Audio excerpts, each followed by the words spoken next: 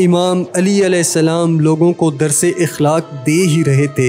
इतने में किसी ने पूछा या अली ज़िंदगी में अचानक से अजाब और मुसीबतें आने की सबसे बड़ी वजह क्या है? बस बस जैसे ही ये पूछा गया तो इमाम अली सलाम ने फरमाया ए बंदा खुदा अचानक से अजाब आने की सबसे बड़ी वजह अल्लाह के रिज्क की बदुआ है। तो वो हैरत से पूछने लगा या अली रिज्क की बदुआ वो कैसे?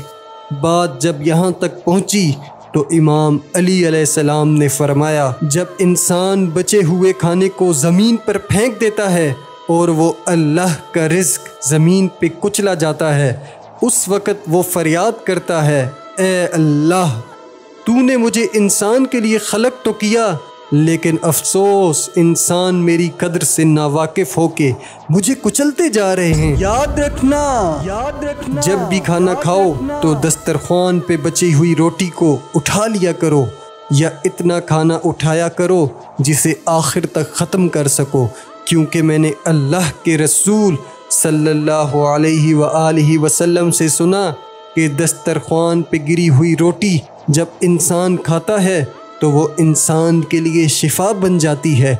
लेकिन अगर चलते वक्त ये देखो कि ज़मीन पर रोटी पड़ी है और वो कुचली जा रही है तो अल्लाह का नाम लेकर इस रोटी को किसी ऐसी जगह पर रख दो जहाँ वो किसी के पैरों में कुचली ना जाए और अल्लाह की दूसरी मखलूक़ात इसे आराम से खा सके। ए शख्स! इस अमल से अल्लाह का रिस्क तुम्हें दुआ करेगा और रिस्क की दुआ अल्लाह कभी रद्द नहीं करता कभी रद्द नहीं करता कभी रद्द नहीं करता।